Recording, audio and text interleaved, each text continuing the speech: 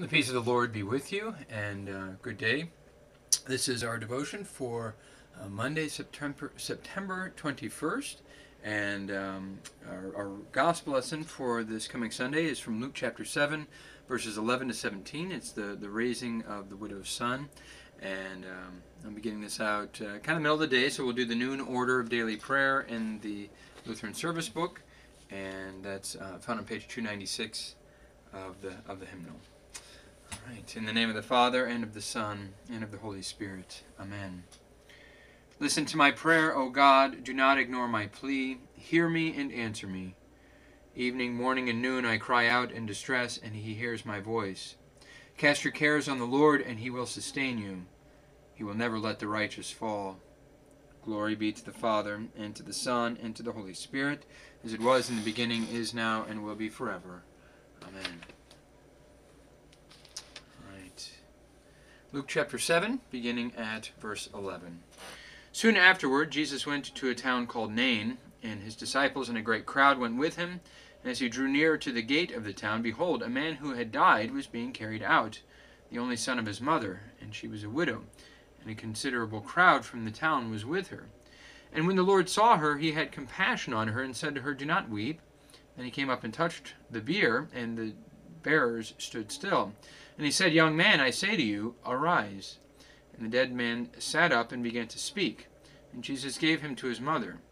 Fear seized them all, and they glorified God, saying, A great prophet has arisen among us, and God has visited his people. And this report about him spread through the whole of Judea and all the surrounding country. Let us pray.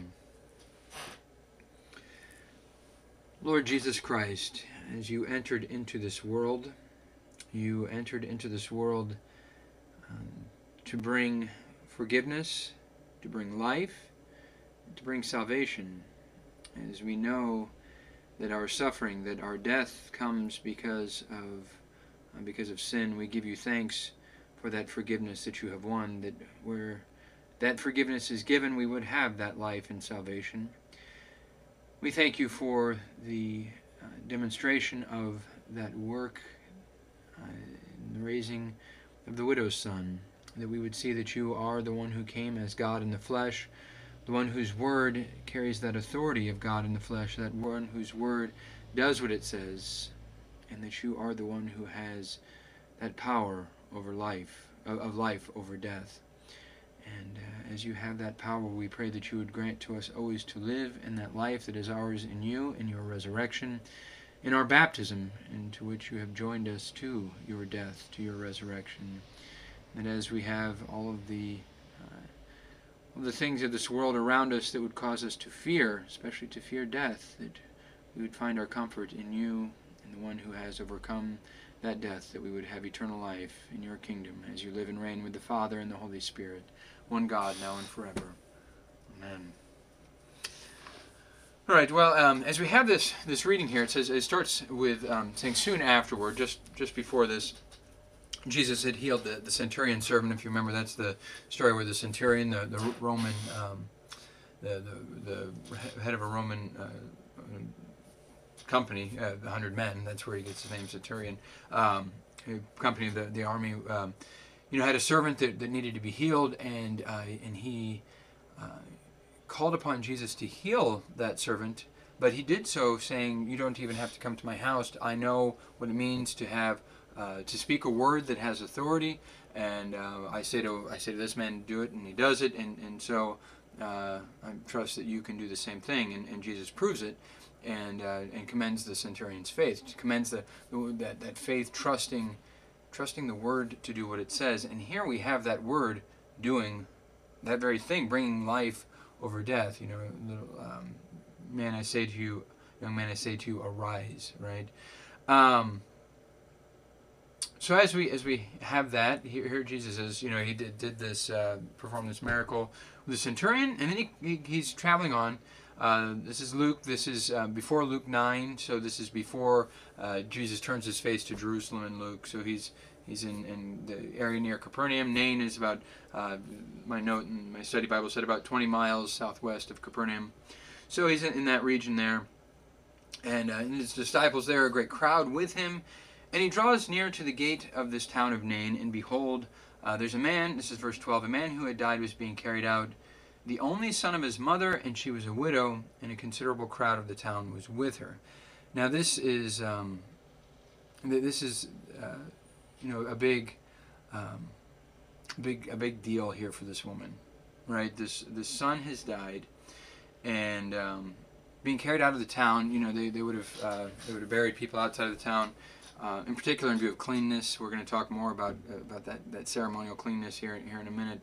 Um, but they would have carried the, the, body out of the town, and but the, but this uh, this would as I said this would have been a big deal for the mother because because she's a widow, and because this is her only son, and uh, it's interesting you know you hear that language only son. Uh, the, the Greek there monogenes, uh, the mono one genes like Genesis, right? Um, it's the same word that's used uh, in, the same root word that's used uh, when it speaks of Jesus being the only begotten Son. Um, so there's there's an aspect where as the Son is being raised from the dead, I think we can't help but think of Jesus as that that only begotten Son of the Father, uh, who, who's raised from the dead. Um, but I, you know, I don't want to make too much of that. It's just something I, I think it rings in our ears as we hear it. You know, I don't, I don't know that we want to go too far with that. Um, but this this only son of this widow, the widow, I keep saying this, keep saying this is a big deal to her. The reason it's a big deal is because at that point in time, it wasn't as though women went out in the workplace like like they do now, right? And so the the death of this son would have meant extreme uncertainty for her livelihood, right? Would have meant extreme uncertainty as to how she was going to provide for herself. It wasn't like she could just go uh, go out and apply to uh, to to work at you know the, the nearest office building or, or whatnot, right? So she she's when he dies, she doesn't know where she's going to have her provision. You know, that was the responsibility of, um, of, of husbands to their wives, the responsibility of, of sons to their mothers, right? You think about it. That's why there's sort of a big deal made when Jesus says to, to John on the cross uh, about Mary, uh, son, you know, man, behold your mother, mother, behold your son, right? And uh, woman, behold your son because he's he's giving Jesus is giving Mary to, to John's care, um, and and we see what we what we see then is Jesus having that same care here, and when the Lord saw her, he had compassion on her, right? I've mentioned that word before. That's this you, the compassion you feel in your guts, right? He has that compassion in her guts in his guts for her, uh, because how is she going to be cared for?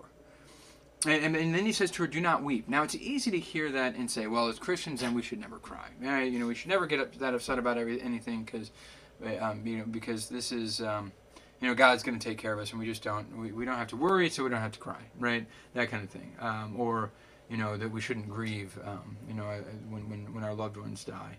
Um, you know, this isn't Jesus saying, "Well, if you just had enough faith, you would you wouldn't be crying." Um, no, he's he's telling her, "Don't cry because." Because I know what I'm going to do right?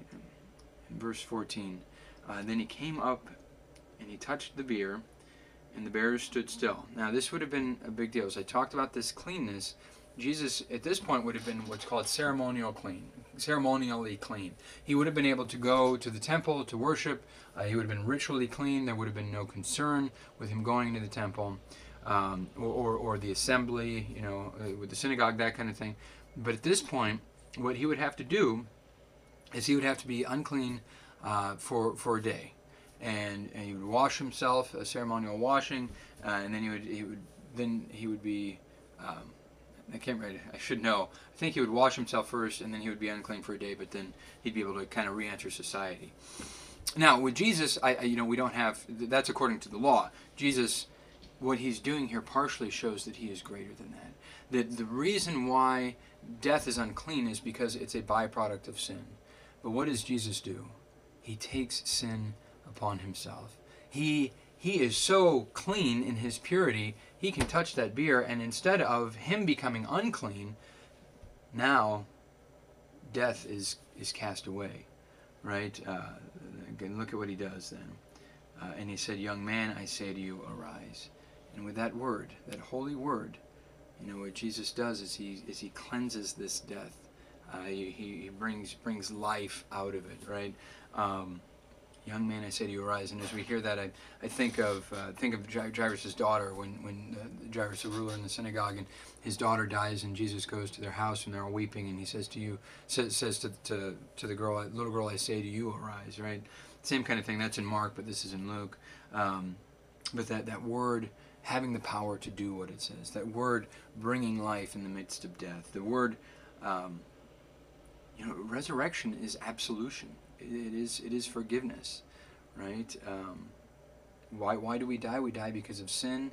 How can we rise again? Because that sin is forgiven, right? And so, so young man, I say to you, arise. And the dead man sat up and began to speak, and Jesus gave him to his mother. Uh, so Jesus giving you know that that circumstance where the, the, this mother's in, Jesus brings brings the young man to her, and um, and think of that joy right here. He has life again. He sits up, he begins to speak. He's he's back to you know this isn't. I think that the point is made there that he's not just kind of like uh, stirring. You know, he is he is upright. He's fully aware. He's cognizant. He's active. You know, this isn't just kind of a oh this guy could have been this guy could have been maybe not actually dead and now he's stirring to life. No, this is Jesus did it. You know, this guy was dead, dead as a doornail. Jesus gives him life, and now he sits up and he's he's talking, right? So, um, and then Jesus gives him to his mother. The mother has this joy because now not only does she have this son back, whom she loved, um, but now she doesn't have all the fears that went along with losing him too, right? And uh, and what happened? Well, then a fear seized them all, and they all glorified God, saying, "A great prophet has arisen among us, and God has visited His people." You know, it's understandable if somebody were ra- raising people from the dead. I think we'd all be afraid a little bit, right? Um, in particular, though, why are they afraid? God is there. That's why they are afraid. This is God in their presence. And whenever you see God in the presence of people in the scriptures, they are always afraid. Why? Well, because of sin and because God is so great. You know, we've sort of turned God into to just kind of our buddy, and um, God is so great and so good that when if we actually were to stand in His presence, there would be rightly be this fear because of our sin. Of course, though, we have this language, God has visited his people, and you can't help but think of um, of Luke chapter 1 with the, the Benedicamus, right? The, um, the the song that Zechariah sings to, uh, to um, and this is this is Luke, you know, so same gospel, but the song that, that Zechariah sings to uh, John the Baptist, yeah, you know, speaking of how God has visited his people to redeem them, that John will be the child to, to go before the Lord to prepare his way, you know, but this is that visitation, right? Here is here is God visiting his people. Why?